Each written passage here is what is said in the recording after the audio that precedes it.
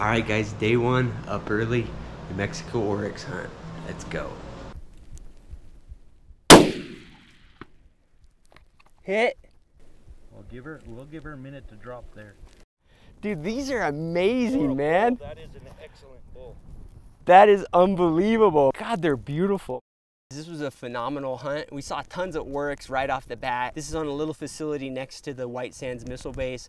Super lucky to draw the tag. It was an awesome time. Learned a lot about the animal. What they do is they have a chaperone with you because you're on a, a, federal facility. He was super knowledgeable, taught me a lot about the oryx and just, you know, one morning we were out here. They're absolutely stunning animals. They really are. Um, I think until you actually go hunt them, you don't realize how beautiful they are, even compared to other wildlife. So this is a bull and Dave kind of showed that to me. They have deeper ridges uh, than the cows do, and then their horns are straighter where the cows have a little swooping uh, to their horns. And then the other thing with um, the bulls he was telling me is they don't get as long as the cows. Cows are typically the longer longer horned animal. The other thing that's amazing is I'm, I'm amazed. We actually saw some yearlings, but their horns were already like that long. So it's amazing to me um, how quickly they grow horns. So I'm gonna go ahead and field dress uh, this bull and uh, we're gonna get him hauled out of here and deal with the rest of him.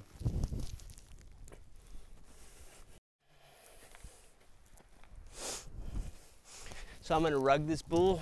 So I'm gonna try to go as straight as possible.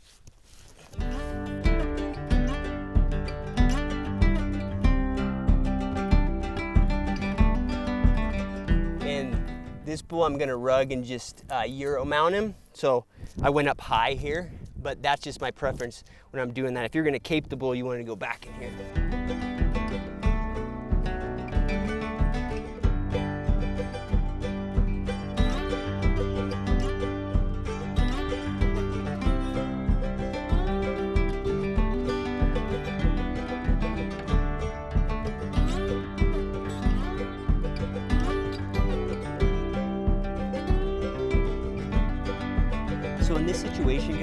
I'm actually just gonna make a nice rug with the uh, cape and hide of the oryx. So yours truly is gonna do, be doing the salting and all of that process. So when I'm the one in, in charge more so, I try to do this all the time for taxidermist's sake. But if I'm the one that has to deal with it, I'd be really careful when I skin. And you can see here, you know, all this, this, if you leave that on the hide, you're gonna have to flesh it off later. So take your time when you're skinning and you can get it off better. And you can see here, as long as I'm trampolining the hide, and what I mean by that is like creating some bounce to it, I can take my blade and almost go, you know, directly at the hide. And that's the only way you're gonna keep from pulling up a bunch of muscle. See, and you're gonna end up with a lot of that stuff. A lot of people wanna go in here and cut right at the seam, and that's fine, but you're gonna end up with muscle. The other thing people do is they create back tension here, where the, these are my fingers right here, and what happens is then they cut and they puncture the hide because there's no bounce to the hide. But if you have if you have some bounce to the hide and you're pulling back here and create that trampoline, you can get that cape clean as a whistle. And if you're the one doing the salting, it's going to save you a lot of hassle. The other thing you can do that's a trick with them is you can try to push your hand up in this seam and that'll work too, particularly further on the process when you've loosened up a bunch of that hide. So one big trick when you're getting by yourself is make sure and use gravity. All right? So get it so the guts are gonna spill down and go with gravity. If you don't do that, you don't have gravity help you, you're gonna struggle to get all those guts out the other thing is particularly on a white hided animal, you know, a, a sheep or an oryx in this case, where they have white hide and dark hide, you really do want to keep as much blood off of that white hide as possible because it will stain the white and it's tricky to get it out. There's a process, you, you, you know, it can come out, but it's not like a mountain goat. See, a mountain goat, it's completely white. So those hides can just be completely bleached. When you have an animal that has multiple colors, you can't do that. So you wanna be careful about how much blood you get on these white patches. Here, the one downside of gravity, you just gotta be really careful. You can see that, I gotta use both hands.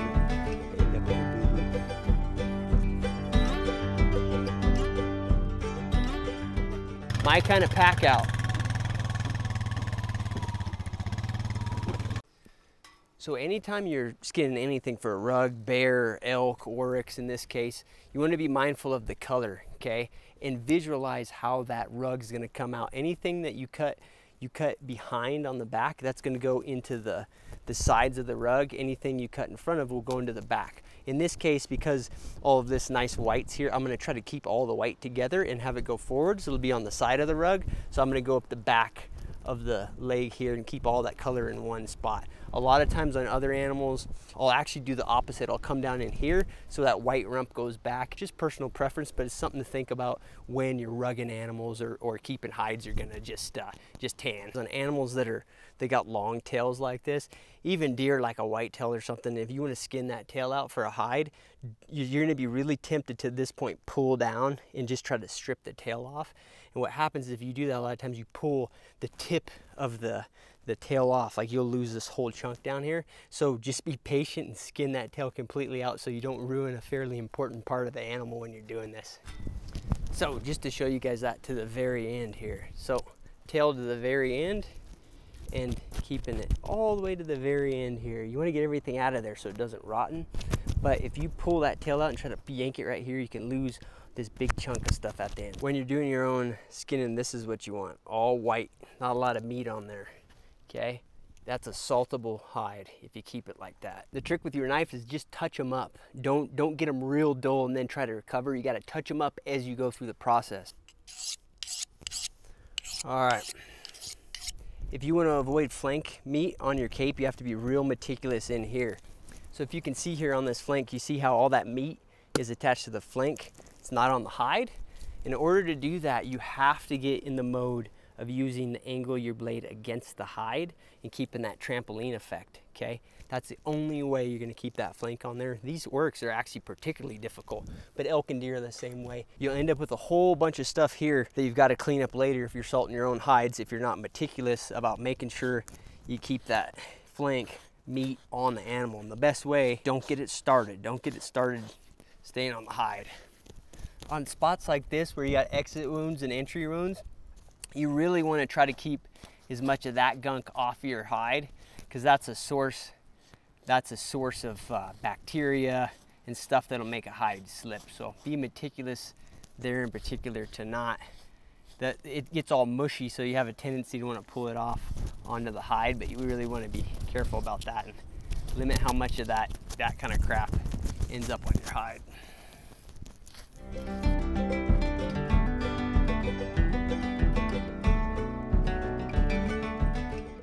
So one thing about when you're taking a whole hide off, it's hard to get this head off of. So you just gotta meticulously work your way down here so you can.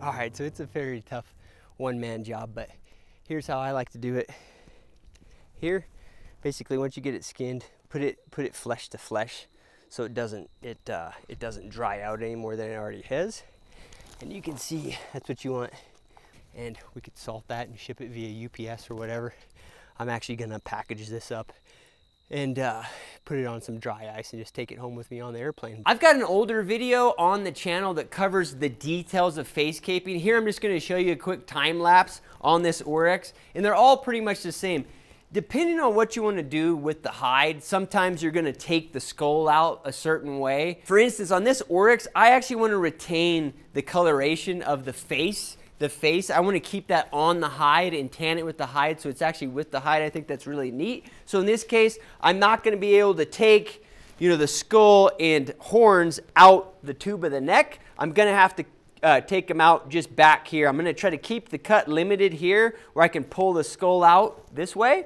Typically, you're actually going to be caping the animal for you know a mount or something. You can come up here and you're going to have a big cut here. You can pull the skull out that way too. Uh, it just depends on the situation. You know, sometimes you're just going to do a European mount and you're not concerned about the cape that's on the face. And in that case, you can pull the skull out however you want. You can take the face off in pieces if you want. It doesn't really matter. But if you're trying to retain the structure of the face, um, you've got to figure out how to get that skull out. What I found works best, and you'll see it in the time lapse, is I try to work from the front of the animal down to the eyes and to the base of the ear. I try to get this started at least pretty well down the animal first. It makes it a whole lot easier to then go to the back to the, you know, the end, you know, right at the base of the skull there and then cape the animal back into your front cuts. That's way easier, particularly in this case where you've got a whole hide attached, right? Or even a big, you know, big long elk cape, big long oryx cape where you've got a bunch of hide to deal with.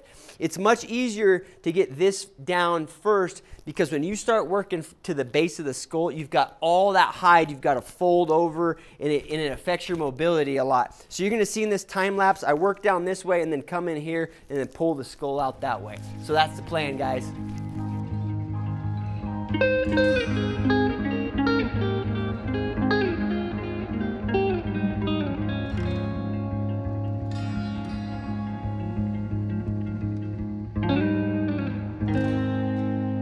right, guys, so you saw the process. I've got everything off here, eyes, ears, everything's intact. There's no eyelids still on the skull. None of that stuff is still on the skull. We make sure we keep everything. We got inner lips here so we can work with that. The taxidermist can work with that. We've got the whole ear. We can go through that process next. The main thing is you don't want to end up with lips that are still on the skull, you know, eyelids that are still on the skull, that sort of thing. This is one of those situations here where I actually try to do the work post post getting it off the skull. So it's kind of unlike the hide. The hide, when I'm skinning an animal and I know I'm going to salt that hide and use it as a rug, I try to be really meticulous and keep as much of the you know, sinew and all those layers, any of the meat and muscle and fat, keep that on the meat. And it's easy to do that when you're skinning, right? Just be slow and careful. But with the skulls, look, I'm to have to deal with this anyways. I'm to have to be meticulous about the face because I've got to turn the lips. Um, I've got to turn the ears. I've got to turn the eyes before I salt it anyways. So why not just be conservative and get everything off of the skull onto this. So all the eyelids, extra lip, all of that, keep it on the face cape so you can deal with that when you're, when you're going through the secondary process that I'll show in another video, just that turning process. Just so you know, in this case, an oryx, an elk's, an elk's to take you about the same time, maybe a little bit longer, um, just because the antlers, you got to deal with them a little bit, a little bit more. Uh, this is actually fairly easy to maneuver around, move, maneuver around. But one thing I'll say is this video, guys, I did it in like 25, 30 minutes. Just so you know, so you're not frustrated when you first start doing this, it might take you a couple hours, okay? And it's okay to do that. Take your time so you don't mess it up. If you mess a face cape up, the one downside of it, and this kind of goes along with why I'm, why I'm conservative, is it's very hard for a taxidermist to fix it. If you cut an eyelid off, you cut a tear duct off of a bull, you cut a lip off, you cut you you know you come out of the nose here and you cut this nice little smooth area off you know, and it's stuck on the skull, a taxidermist, it's going to be very hard for them to fix that. And a lot of times on taxidermy, people are looking at the face of the animal. So you need to be careful. Just a, just a word of caution. You know, just because I do it in 30 minutes doesn't mean you're going to do it your first time in that amount of time. And just take your time. Don't get frustrated by it. You're not doing anything wrong. Just your first few goes while you're learning that anatomy and being careful, it's going to take you three or four times as long, probably two hours or something like that. We're going to jump on to the next step. What I'm going to do is I'm going to get this hide in the face cape and all that. I'm going to roll it up, get it frozen for the trip home because I'm going to check it in in my baggage. The skull, what I'm going to do on the skull is all I'm going to do is I'm going to cut as much of the bigger chunks of meat off of it. I'm going to salt it down really good. Just rub that salt in real good. I'll get this feed out of the oryx. His mouth, this, this oryx was actually feeding while I shot him, and then he never, he never dropped the feed out of his mouth. But anyways, um, I'll get that out. I'll clean it up. But in general, I'm going to salt Salt the Oryx really good for shipment. And then I'm gonna double bag it really well. I'll use some shrink wrap on there too. I'll get it all wrapped up. I'll wrap the horns to protect them and then I'll put it in a box and I'll ship it via UPS. You just gotta make sure that that thing's not gonna leak or stink and you're gonna have no problem shipping it via UPS. So on to the next step. All right, so before you roll up a hide to freeze it, because that's what I'm going to do in this situation. I'm going to freeze it so I can get it in my checked in baggage, but I'm going to deal with it later on, right? Or you're going to take it to a taxidermist and they're going to have to deal with it. So you have to think about the next step in the process. The next step in the process for me is this hide actually has very minimal like fleshing to get done. It's pretty darn clean. So I'm not I'm not super concerned about the body of the, the animal right now. I don't have a whole lot more time to spend on it. But the actual face, this part of the animal, I have quite a bit of time uh, that I still need to put in on that the face of the animal. So I need to do the lips, I need to do the ears, I need to do the nose, I need to do the eyes, right? So that's gonna take some time. So what I'm gonna actually do is I'm gonna take this and I'm gonna roll it so the face is on the outside. And what that'll do is the this cape and stuff will stay frozen, but as it thaws out, as this chunk thaws out, that face is gonna thaw out first and I can start working on it first. And the nice thing about that is I'll have a cold structure. This hide right here, I'll have a nice cold structure uh, to keep. So once I have it out and I start working on that face, even if I have to take a little break or whatever, I can just take that face and I can stick it back on the frozen hide and it'll keep that cool so I can keep working on it. One of the problems if I were to actually put that face in the middle here, then I have to wait for the whole thing to thaw out. And by the time I started working on the face, everything else would have been at room temp temperature for quite a while. Plus, it was gonna be at room temperature the whole time that I'm working on that face. So that can be a problem. So you gotta think about it before you freeze these, what's the next step? If, you're, if everything's done on an animal, in the ideal world, the best thing to do is put the face in the inside because it's less likely to get freezer burned inside. But you've got to plan what your next step is. So I'm going to roll this up, put the face on the outside, and then bag it up and freeze it. Once I have it flesh to flesh, I'll just get it where it's I'll get it where it's just consistent across here. An example of what I'm talking about is if the tail, if the tail, if this tail still needed to be split and pulled in the, and the tailbone needed to be pulled out, sometimes that'll happen. It's just easier for you to just cut the tail um, cut the tail out at home or whatever. It's just hard to do it in the field for you. If that were the case, you'd put the tail on the outside with the face so you can get to it. But in this case, that's already all done.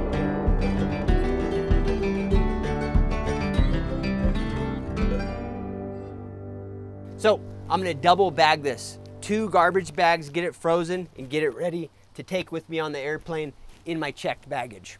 This video is actually part of a whole series of videos I did with this Oryx and I basically went through the whole process just for me personally. If I was trying to save money, simplify, just take out all the risk in terms of the meat and taxidermy on a trip where I was traveling, you know, either driving a long distance or jumping on an airplane, some situation where I had to deal with the animal. I think this is something that we just don't talk about enough for the traveling hunter, right? Everybody is into planning hunts, you know, getting the tags, all of that angle is covered. But the secret source of anxiety that we don't talk about is this stuff, right? What do we do with the meat? What do we do with the cape? What do we do with the hide, antlers, horns, all that stuff? We worry so much about it, but nobody talks about it. And that's what this video and other videos on the channel related to it are for, to help you guys with that. The next video I suggest you guys check out is how I actually pack all this stuff in my checked luggage on an airline. For this Oryx hunt, I probably saved over a $1,000 by dealing with this all on my own. I didn't use a taxidermist and I was able to take the vast majority of the meat, the whole hide, the whole hide on the body, not just the cape, take that home with me and the skull and horns with me all on the airline for under $300. Thanks folks, I'll see you next time.